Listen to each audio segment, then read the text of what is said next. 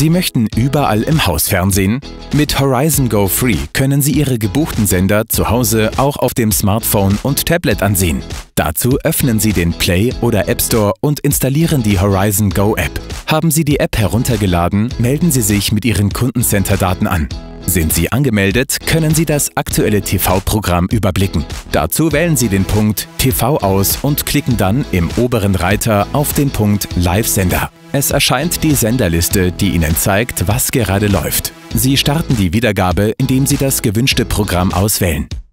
Über den Menüpunkt TV-Programm gelangen Sie in den elektronischen Programmguide, kurz EPG. Dort erhalten Sie einen Überblick über das TV-Programm der nächsten sieben Tage.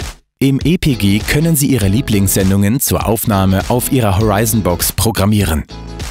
Dafür wählen Sie das entsprechende Datum mit Hilfe des Dropdown-Menüs aus.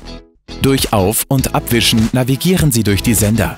Haben Sie den gewünschten Sender gefunden und wollen eine Sendung auswählen, wischen Sie nach links bzw. rechts, bis Ihnen diese angezeigt wird. Halten Sie die gewünschte Sendung gedrückt, können Sie Datum, Uhrzeit, die Dauer der Sendung sowie weitere Informationen einsehen. Außerdem können Sie hier Sendungen mit Ihrem Horizon Recorder zur Aufnahme programmieren. Dazu drücken Sie auf Aufnehmen. Die App nimmt Verbindung zu Ihrer Horizon auf und Sie erhalten anschließend die Information, dass die Aufnahme erfolgreich programmiert wurde. Ihnen ist das Videobild auf Ihrem Handy oder Tablet zu klein? Dann sollten Sie einen Chromecast-Stick oder Apple TV nutzen, um die Horizon Go Streams auch auf einem großen Fernsehbildschirm ansehen zu können.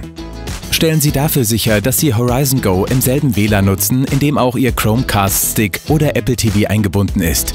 Starten Sie in der Horizon Go App einen Stream, erscheint oben rechts im Bild automatisch das Google Cast oder das Airplay-Symbol. Klicken Sie das entsprechende Symbol an, wird der Stream auf dem Fernsehbildschirm fortgesetzt.